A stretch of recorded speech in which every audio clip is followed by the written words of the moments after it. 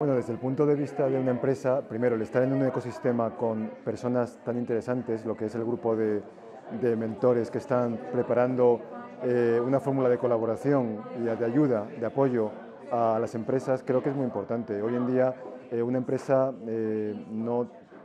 en un contexto global necesita estar conectada con el entorno muchas veces el problema de las empresas, de las startups, de las empresas pequeñas, es la falta de conocimiento de, mucha cultura empresarial, mucha cultura eh, del desarrollo de negocios, sobre todo en España, donde muchas veces tenemos grandes ideas, pero mm, necesidades luego de otras necesidades, sobre todo en, el apoyo, digamos, del negocio. Yo creo que en, en el Herius Club vamos a encontrar un entorno interesante de gente dispuesta a ayudar.